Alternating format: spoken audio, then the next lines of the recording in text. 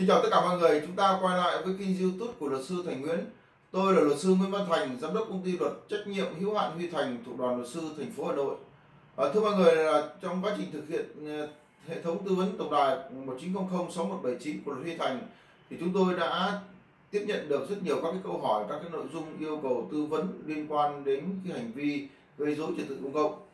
Và thưa mọi người, à, thực tế chúng ta cũng biết rằng là thời gian gần đây thì cũng đã diễn ra rất nhiều các hành vi Ờ, cố ý ờ, gây dối trật tự công cộng ờ, phá vỡ cái tình trạng ổn định của tổ chức ở nơi công cộng, xâm phạm đến cái trật tự công cộng và có thể gây ảnh hưởng đến quyền và lợi ích hợp pháp của nhà nước, của xã hội, quyền và lợi ích hợp pháp của người dân. Vậy thì hành vi gây dối trật tự công cộng bị xử lý như thế nào? Thì tại cái video này chúng tôi xin được tư vấn và trao đổi cụ thể với mọi người. À, thưa mọi người rằng là hành vi gây dối trật tự công cộng được quy định cụ thể tại điều 318 của Bộ luật hình sự năm 2015 sửa đổi bổ sung năm 2017 quy định cụ thể như sau. Tại khoản 1 của điều 318 quy định người nào gây dối trật tự công cộng gây ảnh hưởng xấu đến an ninh trật tự an toàn xã hội hoặc đã bị xử lý vi phạm hành chính về hành vi này hoặc đã bị kích án về tội này chưa được xóa án tích mà còn vi phạm thì bị phạt tiền từ 5 triệu đồng đến 50 triệu đồng. Phạt cải tạo không giam giữ đến 2 năm hoặc phạt tù từ 3 tháng đến 2 năm. À, khoản 2 quy định phạm tội thuộc một trong các trường hợp sau đây thì bị phạt tù từ 2 năm đến 7 năm.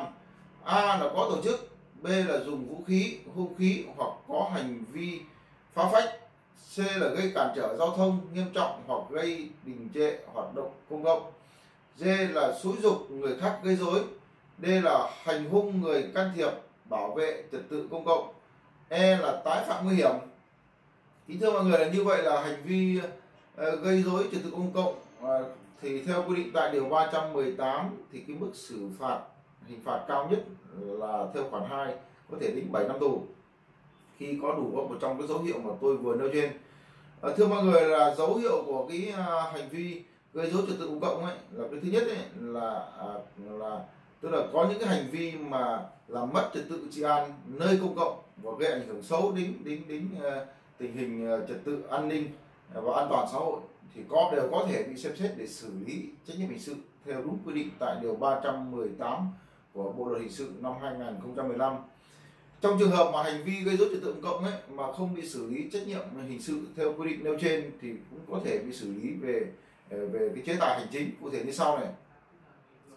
Tại điều 5 Nghị định 167 năm 2013 quy định thì mức xử phạt đối với hành vi gây mất trật tự công cộng có thể lên đến 5 triệu đồng. Để mọi người chú ý nhé. Như vậy là trên đây là các nội dung tư vấn liên quan đến cái chế tài xử lý đối với hành vi gây dối trật tự công cộng. Trong đó có chế tài về hình sự và có chế tài về hành chính để mọi người có thể tham khảo.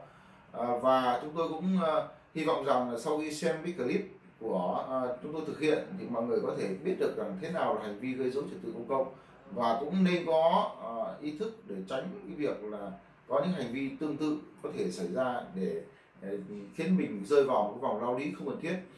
À, thưa mọi người là trong trường hợp mà mọi người cần tư vấn tham vấn thêm về các nội dung pháp luật liên quan hoặc là các nội dung pháp luật khác thì có thể liên hệ trực tiếp với chúng tôi. À, là luật sư Thành qua hệ thống tổng đài 1900 6179 hoặc 1900 633 704 để được luật sư tư vấn cụ thể. Chúng tôi mong rằng là sẽ nhận được sự ủng hộ, quan tâm từ uh, tất cả khán giả mọi người bằng việc là đăng ký kênh YouTube của luật sư Thành Nguyễn để được uh, tư vấn một cách miễn phí và được cập nhật các cái kiến thức pháp luật ờ, liên quan hàng ngày hết sức ý nghĩa uh, đối với mọi người. Sau cùng xin cảm ơn mọi người rất nhiều.